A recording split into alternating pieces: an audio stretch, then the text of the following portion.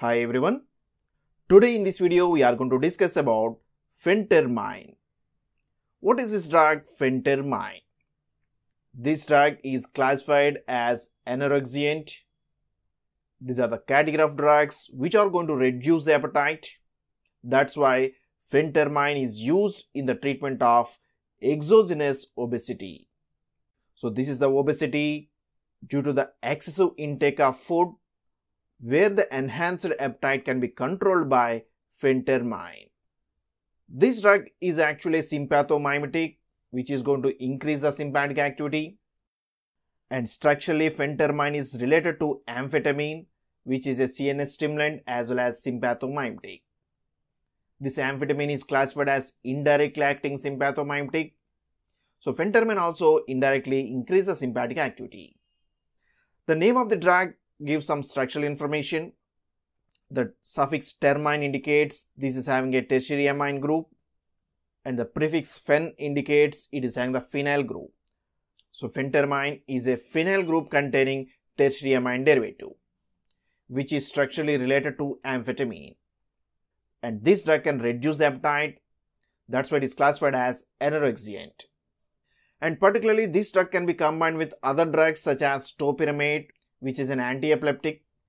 But this combination can also be used to control the appetite in order to manage obesity in the patients. So phentermine is used in the patients with body mass index greater than 30 kg per square meter. So this BMI can be measured as a ratio of weight in kg to the height in square meter. So when this BMI is greater than or equal to 30 kg per square meter, it indicates overweight. In such conditions, phentermine can be used to control the appetite. But in the patients with any risk factors such as hyperglycemia resulting in the diabetes or any controlled hypertension, increased levels of lipids resulting in hyperlipidemia, in all such conditions when the BMI is greater than or equal to 27 kg per square meter, again the patient may have more risk for cardiovascular complications. So in those patients again phentermine can be used. Now let us the chemical nature of this drug. So this is the structure of phentermine and here we can clearly observe a tertiary amine group.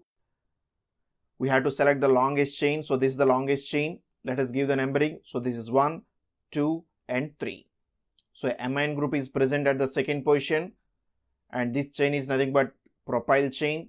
So the suffix of the name is nothing but propane 2 amine. Now to this propane 2 amine at the first position phenyl group is present. So 1 phenyl and second position methyl group is present. So 1 phenyl 2 methyl propane 2 amine is nothing but phentermine. Now let us see how this drug acts. Even the exact mechanism is not known. At the hypothalamus, sympathetic system is playing an important role in controlling the appetite. So the sympathetic neurons coming from the hypothalamus will store norepinephrine and at the postsynaptic neurons, norepinephrine receptors are present such as beta adrenergic receptors. Now when a stimuli reaches to the presynaptic neurons, the calcium can enter into the presynaptic neurons resulting in calcium mediated exocytosis where the norepinephrine can be released and it can act on postsynaptic receptors. This produces an excitation in the postsynaptic neurons and this signal is going to be transmitted to the colon where the appetite is going to be controlled. But the action of norepinephrine on control of appetite depends on how much time it is present within the synaptic cleft. So the norepinephrine can be reuptaken into the nerve terminal by norepinephrine transporter which is expressed on the presynaptic neurons. Now the released norepinephrine can be taken into the nerve terminals through this transporter which reduce its action. So now this phentermine can increase the sympathetic activity. This can enter into the presynaptic neurons through this norepinephrine transporter where it can act on the synaptic vesicles. By displacing the norepinephrine from storage vesicles, this norepinephrine can be leaked out of the membrane through the same transporter. In this way, phentermine can increase the release of norepinephrine into the synaptic cleft.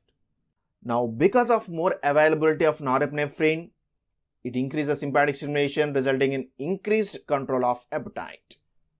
So, this is one possible mechanism of phentermine how it can control the appetite.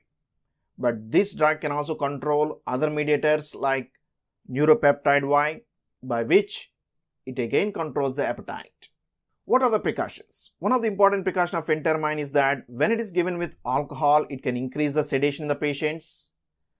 So that's why the patients who are working with machinery or driving with vehicles, this phentermine should be carefully given and particularly when it is combined with alcohol, it can increase the sedation in the patients. Similarly, phentermine being a sympathomimetic, it can increase the sympathetic activity. So it can increase the blood pressure resulting in the hypertension in the patients. So care should be taken in the patients who are already having elevated blood pressure because this drug further increase the blood pressure resulting in the hypertension in the patients.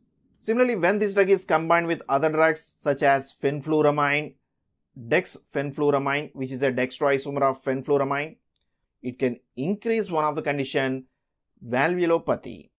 It can damage the heart valves, particularly it can affect mitral valve, aortic valve, even it can affect tricuspid valves, so that the pumping efficiency of heart is going to be reduced. So this combination should be carefully given the patients with any pre-existing cardiovascular disorders. Similarly, this combination can also affect on the lungs where it can increase the blood pressure resulting in primary pulmonary hypertension PPH. So because of elevated blood pressure, it can produce few of the symptoms such as dyspnea, difficulty in breathing, syncope, fainting, and even it can affect the heart resulting in the angina and it can also increase the edema in the patients so all these are observed because of pulmonary hypertension produced by phentermine, particularly when it is combined with drugs such as fenfluramine and dexfenfluramine. What are the side effects? The important side effect of phentermine is on the blood pressure, so it can increase the blood pressure resulting in the hypertension and it can also produce some palpitations, awareness of heartbeat, tachycardia, increased heart rate. It can produce some central side effects such as dizziness, some insomnia, lack of sleep, that's why this drug should not be given after the evening because it produces some insomnia in the patients. So this drug is preferred to take during the morning before the breakfast in order to reduce any insomnia in the patients. And it can also produce some euphoria which results in some addiction. Other side effects include dry mouth, headache, constipation and urticaria can be observed with this phentermine. How it is given? This drug is available as tablet as well as capsule. It is available at three strengths such as 15 mg, 30 mg and 37.5 mg. So here phentermine is present as phentermine hydrochloride which is not equivalent to phentermine. The 15 mg of phentermine hydrochloride is equivalent to 12 mg of plain phentermine. Similarly, 30 mg of salt is equivalent to 24 mg of the base and 37.5 mg is equivalent to 30 mg of phentermine. But always this drug is available as a hydrochloride form. So it is available in 3 strengths 15 mg, 30 mg and 37.5 mg. The dose of the drug should be given at lowest dose possible and it is individualized based on the patient. Generally, the initial dose is started at 37.5 mg of phentermine hydrochloride. Now this 37.5 mg of phentermine hydrochloride is equivalent to 30 mg of plain phentermine. So the initial dose is started at 37.5 mg but the dose may also be given as a half dose in the patients with any risk factors such as any renal dysfunction or hepatic dysfunction and this drug should be given before the breakfast particularly one or two hours before the breakfast it should be taken in order to avoid any gastrointestinal side effects or any insomnia developed in the patients. So that's about this drug phentermine. Phentermine is a anorexiant which reduce the appetite.